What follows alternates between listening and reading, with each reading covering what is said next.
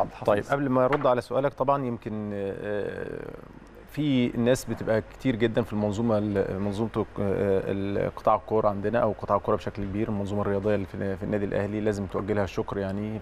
فموسم زي ما أنت ذكرت وقلت من من البداية كان موسم طويل جدا.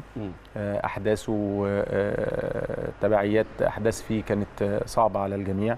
بشكر إدارة النادي الأهلي مجلس إدارة النادي الأهلي وكابتن محمود الخطيب بالتأكيد بشكر الجهاز الفني بشكر الإداريين بشكر اللعيبة طبعا على شخصياتهم وطريقة تفكيرهم بشكر العمال كمان لأن كل واحد له دور ممكن يبقى دور بسيط لكن مؤثر جدا جدا. في آه، الفريق الجهاز الطبي آه، آه، كل العاملين في قطاع كرة القدم.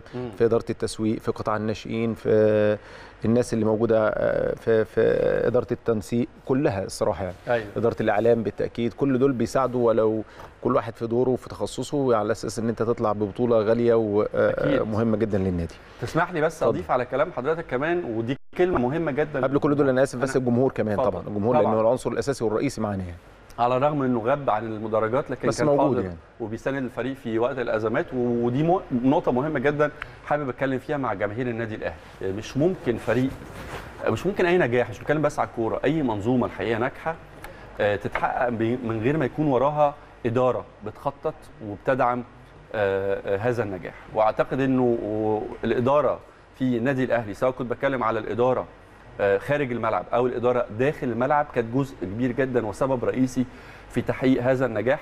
وده مش بس عشان كابتن سيد عبد الحفيظ موجود معايا لكن الحقيقة انه راجل على مدار السيزون ده والمواسم السابقة. وكابتن سيد الحقيقة ليه رصيد كبير جدا في آه، قلوب ال- الجماهير الأهلاوية كلاعب واحد من أشهر نجوم الكرة في النادي الأهلي وأيضا كواحد من أنجح مدير الكرة في النادي الأهلي على مدار تاريخ طويل وفترة طويلة تولى فيها المسؤولية. لكن السيزون ده بيتهيألي استثنائي. الخبطات والضربات والمطبات الصعبة اللي كانت بتواجه الفرقة.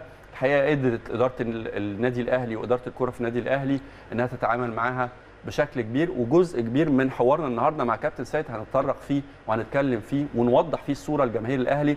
لأن خدوا بال حضراتكم القرارات في بعض الأوقات صحتها ودقتها ونجاحها مرتبط بتوقيتها. يعني في وقت من الأوقات ممكن يبقى القرار متفق عليه لكن توقيت اتخاذ القرار ده مهم جدا وعامل أساسي في إنك تحقق الهدف من وراء القرار ودي الحقيقة مدر... يعني سياسة أساسية لمدرسة النادي الأهلي في آه، أسلوب إدارتها للمشاكل والأزمات. مرة تانية برحب بيك يا كابتن سيد. نتكلم في السيزون بس الأول بشكل عام. طبعا آه، يعني إحنا بنحتفل النهارده. أنا مش عايز طبعا أركز على على المشكلات وعلى الأزمات فقط لا غير لكن مهم إن إحنا وإحنا بننهي موسم ناجح آه، على المستوى المحلي إن إحنا نعمل عملية تقييم ونعمل عملية توضيح. بالتالي ده حق جماهير النادي الأهلي. علينا فهنتكلم في كل الملفات. خليني بس آخد تقييم منك للسيزون آه، آه، بشكل عام. طيب يمكن إحنا البدايه كانت الفترة الغايه يمكن 14 9